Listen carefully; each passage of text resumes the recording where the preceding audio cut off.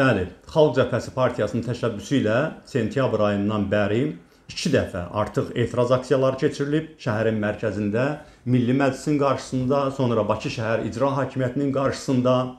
Siyasi partiyalar haqqında qanuna dinc etiraz olub, sərbəst toplaşmaq azadlığının məhdudlaşdırılmasına etiraz olub, siyasi məhbuslara azadlıq tələb olunub, ölkənin quru sərhədlərinin açılması tələb olunub, azad seçki tələb olunub, ölkədə köklü demokratik dəyişikliklər tələb olunub.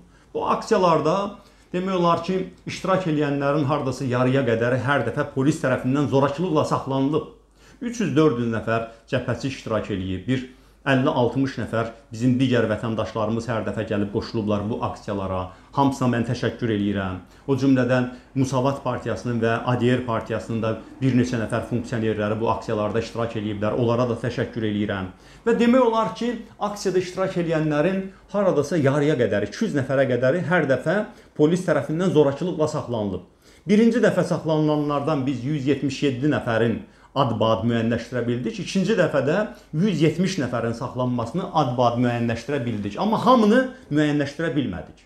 Bəli, bizim imkanımız yoxdur ki, sərbəst şəkildə, başqa mədəni millətlərdə olduğu kimi dinc qaydada gələk, toplaşaq, şüarlarımızı səsləndirək, qətnaməmizi təqdim eləyək. Amma cəbhəçi əqidədaşlarımın və bizə dəstək olan həmvətənlərimizin həmin o cəsur həmvətənlərimizin sayəsində şəhərin mərkəzində bu şüarlar səsləndirilib.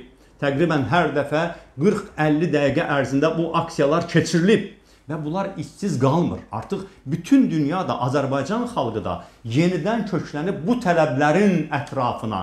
Ona görə də hesab eləyirəm ki, bu keçirilmiş iki aksiya çox mühüm təsirə malik oldu. Azərbaycan cəmiyyəti gördü ki, əvvəla Azərbaycan cəmiyyəti hazır olan kimi ona öncül elə, öncüllük eləməyə, meydanlarda öndə getməyə hazır siyasi qüvvə müxalifət var. Artıq bu sübut olundu. Və sübut olundu ki, əslində bu gün hətta hakimiyyət icazə verməsə belə, həddindən artıq çox böyük bir risklərdən söhbət getmir bu aksiyalara çıxan adamlardan. Həmin adamların da həmin adamlar da sizə bənzərdir. Adamlar hamısı bir-birinə bənzərdir. Onların da ailələrinin problemləri var. Onların da fiziki ağrıları var, ağrı hiss eləyirlər. Qollarından tuturlar, onlara da xoş olmur. Qollarını vururlar, canları ağrıyır. Amma bir neçə saatlıq əziyyətdir bu. Bir neçə saatlıq əziyyətdən ötürü biz itaatkarlıq mı edək? Hə, saxlayırlar 200 nəfərə qədər adamı, günün sonunda da azad eləyirlər. Və biz bu qədər məhrumiyyəti nəyə görə gözə almayaq ki?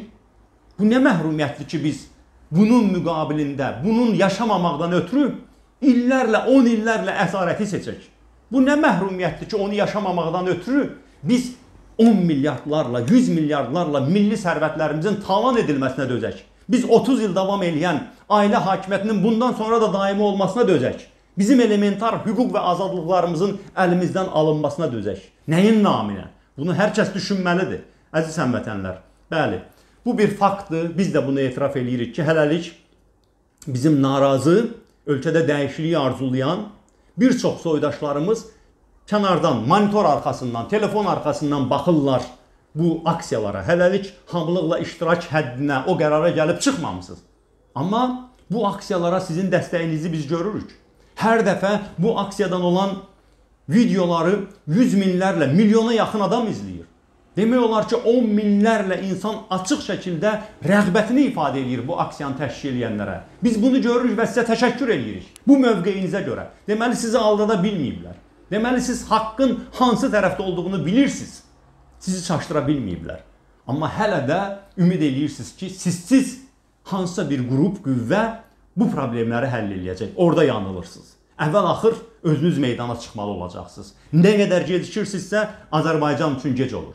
Bundan sonra necə olmalıdır? Biz davam etməliyik, yoxsa artıq yetər? Gözləməliyik Azərbaycan xalqının daha kütləvi mübarizəyə hazır olduğu zamanı. Hal-hazırda açıq deyim ki, xalq cəbhəsinin strukturlarında bunun müzakirəsi gedir. Amma mən ümumi şəkildə deyə bilərəm ki, cəbhəçilərin əksəriyyəti hətta bu mərhələdə çox böyük şəkildə kənardan sadə insanlarımızın böyük bir iştirakı olmasa belə bu aksiyaları faydalı hesab eləyirlər və davamını istəyirlər. Bizim hələ ki müzakirələr başa çatmayıb. Müzakirələr başa çatandan sonra mən qərarı sizə təqdim eləyəcəm. Amma hələ ki dediyim kimi bu müzakirələrdə o görünür ki, cəbhəçilərin böyük əksəriyyəti aksiyaların davam etməsini istəyirlər və hesab edirlər ki, bu sərbəst toplaşma azadlığını mübarizə aparmadan bizə verən olmayacaq. Biz nə istəyirik ki? Biz istəyirik dinc qaydada toplaşaq, məsələn azad seçki tələb edək. Nəyə görə bütün başqa xalqlarda seçki olmalıdır, bizdə isə seçkini bir adam keçirməlidir? Nəyə görə? Bizim buna nəyə görə etiraz eləmək imkanımız olmamalıdır? Biz ölkəmizdə köklü demokratik dəyişiklik istəyirik. Korrupsiya olmasın, monopoliya olmasın, sosial problemlər həll olunsun. Hökumət o yığdığı, topladığı və dağıtdığı neft pullarından, qaz pullarından uşaq pulu versin, maaşları artırsın, pensiyaları artırsın, müavinətləri artırsın, Qarabağ qaziləri intihar eləməsin, iş yerləri açılsın, gənclərə dəstək verilsin, ölkədəki həm hər 24-25 gəncdən biri işləməsin, gənclərə iş yerləri açılsın, pulsuz təhsil olsun. Biz bunları tələb eləmək istəyirik. Köklü demokratik dəyişiklik tələb eləmək istəyirik. Amma bunun üçün kilid məsələ nədir? meydanların xalqın üzünə açılmağı, sərbəst toplaşma azadlığı, nəyə görə Gürcü xalqının, erməni xalqının, başqa xalqların hamısının hüququ olmalıdır sərbəst şəkildə fikrini ifadə eləməyə, tək Azərbaycanlıların yox. Kim qərar verib ki, biz layiq deyilik sərbəst toplaşma azadlığına? Kim qərar verib ki, Azərbaycanlılar ikinci sort xalqdır? Onlar hüquq və azadlıqları olmadan da yaşaya bilərlər. Onlar bütün hüquq və azadlıqlarını bir nəfərə veriblər. Kim bu qərarı verib? Biz belə bir qərar verməmişik. Ona görə də əziz həmvətənlər, ölkənin dəyişməsi üçün bir gün tez, bir gün gec, bir ay tez, bir ay gec sizlər qərar verməli olacaqsınız. Onun da fərqindəsiz ki, artıq sizin hamılıqla qərarınız olmadan əlbəttə ki, ölkədəki o arzuladığımız köklü demokratik dəyişikliklər reallaşa bilməz. Hal-hazırda müzakirələr gedir. Siz də bu müzakirələrə qatılın, fikrinizi bildirin. Biz dəfələrlə hər dəfə aksiyalar keçirəndə dəvət eləyirik ki, heç olmasa bir müşahidəçi kimi gəlin dəstəyinizi ifadə edin. Kənardan, səkilərdən dəstəyinizi ifadə edin. Siz bunu eləyə bilərsiniz heç olmasa. Özünüzü də hazırlayın o ciddi aksiyalara. Həm də biraz əvvəl danışdıq. Bəlkə işlər elə gələcək ki, biz hamılıqla millət olaraq başqa çarəmiz olmayacaq bizim meydanlara çıxmaqdan başqa. Onu da biz gözləməliyik ki, bu Soçi danışıqlarının nəticəsi nə olacaq? Onu da biz nəzərə almalıyıq ki, əgər o tamam başqa bir situasiya yaradacaq. Yox, əgər o bəladan biz qurtulsaq, o zaman daxili problemlərimizin həlli ilə biz məşğul ola bilərik. Bu məsələdə bir məsələyə də toxunmaq istəyirəm mən. Azərbaycan cəmiyyəti bir mənalı şəkildə ölkənin ictimai siyasi qüvvələri, jurnalistlər, blokçular, internet televiziyaları hamılıqla Xalq Cəbhəsinin təşəbbüsü ilə keçirilən bu etiraz aksiyalarına dəstək verirlər. Hamınıza təşəkkür edirəm. Demək olar ki, mütəşəkkil qaydada bizim nə tələblərimizə, nə aksiyamıza qarşı hər hansı bir xüsusi kampaniya aparılmır Azərbaycan cəmiyyətində. Azərbaycan cəmiyyətindən biz razıyıq buna görə. Hamınıza minnətdaram. Amma trolların dili ilə olsa da hökumət orada burada yazdırır ki, Bəs bizim sən demə ətrafımızda çox neqativ proseslər gedir. Belə bir vaxtda necə aksiya eləmək olar axı? İran orada bizə qarşı hansısa aqressiv niyyətlərini göstərir. Rusiyadan bilmək olmaz, nə olar, nə olmaz. Belə bir vaxtda nə toplaşmaq? Ermənistanla biz sülhümüz sülh hələ əldə eləməmişik. Danışıqlar gedir. Belə bir vaxtda niyə toplaşaq? Əziz həmvətənlər, nə vaxt bəs bizim bir asudə vaxtımız olub ki, biz toplaşaq? Deməli Qarabağ işğal altında olanda daha çox ərazilər Onda bizi şantaj edirdilər ki, necə yəni bizim Qarabağ boyda dərdimiz var, toplaşmaq olmaz. İndi sülh danışıqları gedir, toplaşmaq olmaz. İran belə dedi, toplaşmaq olmaz. Rusiya belə dedi, toplaşmaq olmaz. Əziz həmvətənlər, istəyirəm çox aydın şəkildə ifadə eləyim. 1.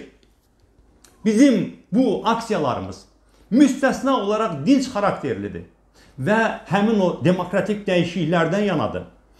Azərbaycana qarşı diş qıcıdan istənilən xarici qüvvəyə qarşı ən sərt mövqeyi biz qoymuşuq və qoyacağıq.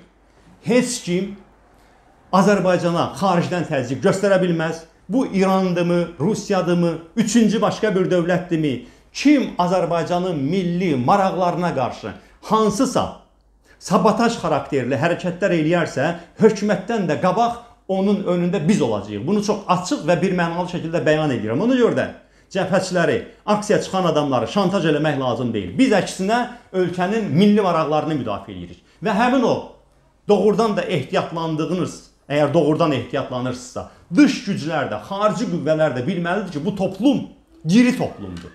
Lazım olanda təkcə hökumət yox, toplum bizim üzərimizə gələr. Toplum hamılıqla istənilən xarici təzyiqə qarşı səfərbər oluna bilər. Ona görə də bizim sərbəst toplaşma azadlığı tələb eləməyimizin, azad seçki tələb eləməyimizin hansısa bir xarici təxribata nə dəxli var? Həmin o xarici təxribat uzağa gedərsə dediyim kimi bizi qarşısında görəcək. Ona görə də bu aksiya çıxan adamları qətiyyən şantaj eləməyin. İkinci məsələ, biz heç kimə imkan vermərik. Heç kimə. Mən indi bəzi dövlətlərlə problemlərimiz var, onların adını çəkdim. Amma adını çəkmədiyimiz dövlətlər də olsun. Bu yaxınlarda Macronun Frans 2 kanalına müsahibəsi oldu. Ən birinci cavab verənlərdən biri mən oldum. Fərq etməz. Azərbaycanın milli maraqlarına şimaldan, cənubdan, qərbdən, şərqdən, haradan hansısa bir əl uzanacaqsa, Azərbaycanı hansısa milli maraqlarımıza zidd olan güzəştlərə məcbur eləmək üçün hansısa bir təzyiq olacaqsa, biz cəbhəçilər, bizim müttəfiqimiz olan Milli Şura, bütövlükdə ölkənin milli demokratik qüvvələri, bu xalqa bağlı olan qüvvələr heç bir xarici qüvvəyə şans tanımarıq. Biz Azərbaycana təpədən dırnağa bağlı olan qüvvələrik. Ona görə də lazım deyil Azərbaycan hakimiyyətindən azadlıq tələb edən insanları şantaj eləməyə. Bizə həm də azadlıq ona görə lazımdır ki, dövlətimizi xarici təzyiqlərin qarşısında ciddi şəkildə qoruyaq.